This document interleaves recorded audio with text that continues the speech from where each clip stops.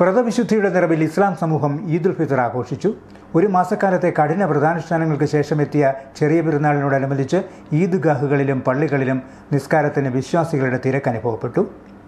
ഒരു മാസക്കാലത്തെ തീവ്രമായ നോമ്പാചരണത്തിന് ശേഷമാണ് ഇസ്ലാം സമൂഹം ചെറിയ പെരുന്നാൾ ആഘോഷിച്ചത്. നന്മയുടെയും സാഹോദര്യത്തിന്റെയും സന്ദേശവുമായി എല്ലാവരും ഒത്തുചേരുകയെന്ന സന്ദേശവുമായാണ് ഈദുൽ ഫിത്തർ ആഘോഷം നടക്കുന്നത്. സൗഹൃദം പുതുക്കുകയും വിഷമിക്കുന്നവരെ സഹായിക്കുകയും ചെയ്യുകയാണ് ഈദുൽ ഫിത്തറിനോടനുബന്ധിച്ച് നടക്കുന്നത്. വ്രതാനുഷ്ഠാനങ്ങൾ കൊണ്ട് വിമലീകൃതമായ മനസ്സുമായി ചെറിയ പെരുന്നാൾ ആഘോഷത്തിന്റെ ഭാഗമായി രാവിലെ ഈദ്ഗാഹുകളിലും ദേവാലയങ്ങളിലും ഈദ് നമസ്കാരം നടന്നു. പുതുവസ്ത്രങ്ങൾ അണിഞ്ഞ് വ്രതവിശുദ്ധിയോടെ പരസ്പരം ആലിംഗനം ചെയ്ത് സാഹോദര്യത്തിന്റെ സന്ദേശം കൈമാറുകയായിരുന്നു ഇസ്ലാം സമൂഹം. പ്രിയപ്പെട്ടവരുമായി സമയം ചെലവഴിക്കുക അല്ലാഹു നൽകിയ ഭക്ഷണത്തിൽ മുഴുകുക എന്നിവ ഈദ് പെരുന്നാളിന്റെ പ്രധാന ഘടകങ്ങൾ. ലോകമെമ്പാടുമുള്ള മുസ്ലിങ്ങൾ ഈദുൽ ഫിത്തറിന്റെ ദിനത്തിൽ പുതിയ വസ്ത്രങ്ങൾ ധരിക്കുകയും പ്രഭാതത്തിൽ പ്രാർത്ഥനയിൽ മുഴുകുകയുമാണ് ചെയ്യുന്നത്. ഈദ് മുബാറക് ആശംസകളുമായാണ് ഈദ് ദിനാഘോഷങ്ങൾ നടക്കുന്നത്.